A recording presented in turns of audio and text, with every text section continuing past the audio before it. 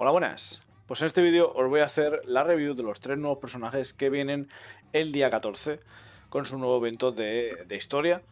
Eh, primero voy a empezar con el personaje gratuito que es Tin Sheno, es el que podamos conseguir todos gratis de hasta N7 en el, en el evento. Eh, recomiendo que lo saquéis porque N7, un personaje, tenéis todas sus abilities ya desbloqueadas y ahora, ahora veréis sus habilidades, que es lo que hace el personaje. A ver, Tin Sheno es un eh, monstruo físico. ¿Vale?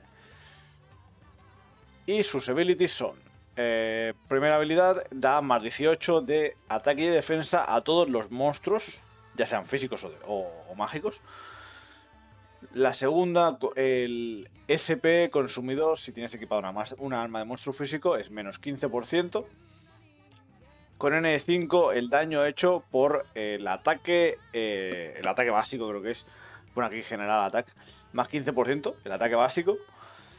Y con N7, al final del turno, si has derrotado a un enemigo, eh, todos los parámetros excepto la vida suben un 23%. Así como veis, pues tiene abilities eh, medio support, medio para él, ¿vale? Luego las habilidades. Primero tiene una OE barato, que cuesta, llega a costar 18, que aumenta su propio ataque. No, aumenta el ataque a toda la party en un 10%. Luego tiene eh, un single target de S+, que lo aprende en el 200, no en el N3. Que aparte le resta un 20% de intelecto al enemigo y le mete Forget. Bueno, tiene la posibilidad de meterle Forget. Y luego en el N3 aprende eh, una autodestrucción que se quita un 99% de vida y es una OE con A+. A es con A+, hay pocos, ¿eh? Así que eh, hace bastante daño esta OE. Y luego de hechizos mágicos tiene Veneno, Armor Break y Megastar. Y luego de los importantes tendría el Mega Armor Break. O sea, tiene, es un, monstruo físico de Mega Armor Break gratuito que podéis incorporar en, en vuestro grupo de monstruos si os faltaba, por ejemplo, Licerota. Por ejemplo, si tenéis a la, gente que ha sacado ahora a la Prier hace poco y necesitabais un personaje que tuviese Armor Break, pues mira, aquí tenéis un monstruo físico de Mega Armor Break para ponerlo con vuestras alias y vuestras vuestro TPS de monstruo, ¿vale? Si no tenéis a, a que sería el, mejor monstruo con Megan Break para poner. Así que no lo desaprovechéis la, oportunidad de, conseguirlo, ¿vale? En, el evento. Vale, luego ahora vendría los dos personajes de. Eh, de lo que sería el Summon, ¿vale? Del, del gacha. Que a ver. Eh, han habido cambios otra vez porque están ya aquí en el en la wiki ya están busteados a como están en Japón, porque tuvieron un rerun y le subieron un poco los stats, pero ahora hablaré de ello, ¿vale? Entonces, em, empezamos. Eh, habilidad de líder. El, aumenta todo el ataque de la party 20%. Esto después del boost. Antes del boost es un 16%. ¿Vale? O sea, nosotros va a llegar antes del boost y a los meses, X meses lo subirán, ¿vale? Pero claro, mejor explicaros cómo es de base. Eh, luego, el N1 es un 65% más de daño con ataques de tributo estrella, que como veis pues tiene muchos. Pero en vez de un 65 es un 60. ¿Vale? Lo que nos llega a nosotros y a los meses lo vuelven a subir. Luego tiene el... Aumenta a los personajes que llevan pistolas el crítico, el critical damage un 25%. Esto se queda igual, esto no cambia. Y luego el aumento, esto es un aumento a sí mismo del daño multiplicado por la cantidad de miembros de la parte que lleven pistolas, 15%, esto es un 12%. Luego ya tenemos las habilidades que tiene una OE barato, que cuesta 18, de daño estrella, Inflige Forget. El segundo es una OE algo más caro, que eh, mismo aparte se bufa el crítico en la segunda, o sea, esto, de la segunda ronda que lo tiramos, en vez de un 25 es un 20. ¿Vale? Esto no, lo tendremos nosotros. nos quitamos un 5%, pero bueno. Y luego en el S Plus, en vez de un 20% que aumenta el skill power, eh, tenemos un 15%. Pero esto básicamente es cuanto. Es de, esos, de esas habilidades que consumen todo el SP que os queda para aumentar más el daño. ¿Vale? El 20, y el skill power aumenta cuando es un crítico, si no, no aumenta. Vale. Y luego las, los hechizos que tiene son Mega Speed Boost, Mega Breakheart y Mega Shield. Como veis, pues tiene eh, el Speed Boost y el Mega Breakheart, que se van a usar bastante, y el Mega Shield, bueno. eh, eh, tendrá, es un poco nicho, ¿vale? Esos hechizos siempre. Pero el Mega Breakheart es un buen hechizo para. Es, es un buen support para, para equipos de pistolas, como veis, ¿vale? Es un, es un tier S, ¿vale? Está, bastante bien. No es para nada malo. Y luego tendríamos Florlo Rosalind, que mucha gente igual la lleva esperando porque es de estos personajes que eh, sirven para equipos arcoiris, pero ahora, luego hablaremos de ello, ¿vale? Es un personaje de arco, del símbolo de, de Knight.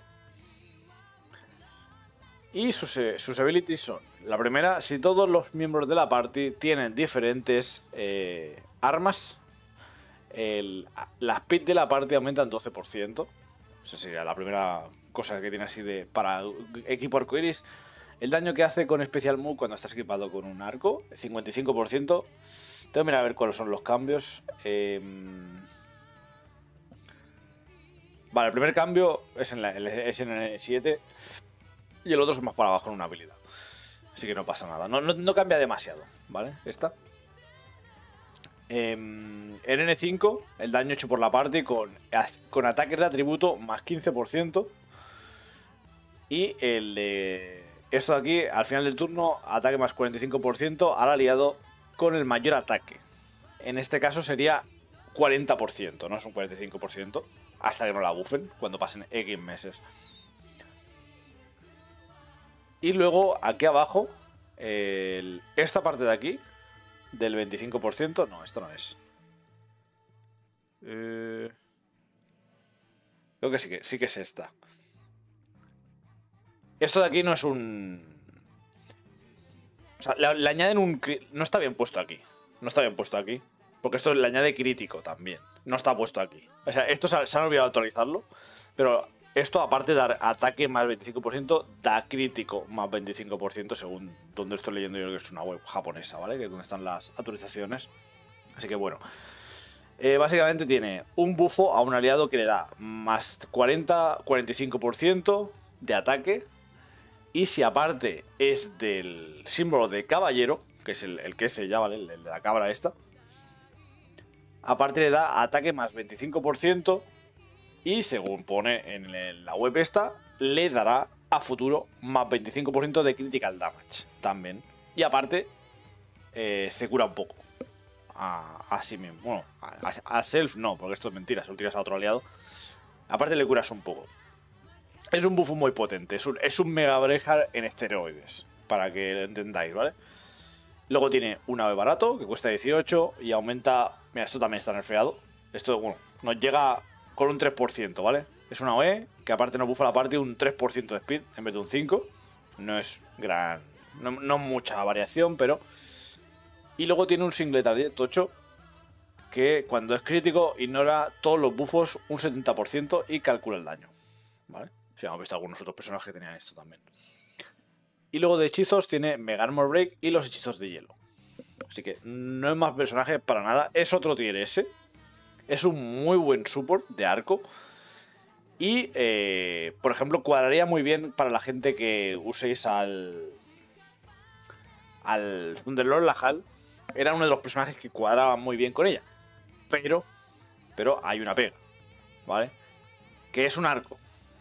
Y en. Cosa de un mes. Viene un arco. Que sería la. Archangel, Ar- Archangel Flon. Que le pega 20 vueltas. Que es el mejor. Es de los mejores supports del juego. ¿Vale? Entonces. Mi consejo es. Si queréis haceros el grupo de Thunderlord Lahal. De ir con un arma de cada tipo. mm, Aunque este personaje tenga eso. Es mejor el Archangel Flon que viene el mes siguiente. Así que en este caso os diría que este banner, para mí al menos, es un skip con todo lo que viene después. Ya sabéis que aparte, a los cuatro días de que salga este banner, viene el banner de Krichevkov, viene Flamelor Mayorita, eh, ya hablaremos de ellos, ¿vale? Pero son... mm, al menos el Krichevkov es bastante más importante. La Mayorita más o menos estaría a la, a la par. También es de estos que se usan en equipos arcoíris, pero ya hablaremos de ellos, ¿vale? Así que eh, en lo que queda, lo que viene aquí es agarrar el personaje gratuito, que es muy bueno. ¿vale? Subirlo a N7 gratis y lo podéis usar si necesitáis para vuestro grupo de monstruos. Es un muy buen support que tiene el, el Mega Armor Break. Así que hasta aquí va a ser este vídeo. Si os ha gustado el vídeo no olvidéis darle like al vídeo, suscribiros al canal si queréis ver más vídeos de Dica RPG y abajo en la descripción del vídeo tendréis el resto de mis redes sociales, mi Twitch, mi Twitter, mi Discord y mi Facebook. Así que hasta aquí este vídeo, nos vemos en el próximo vídeo. Chao.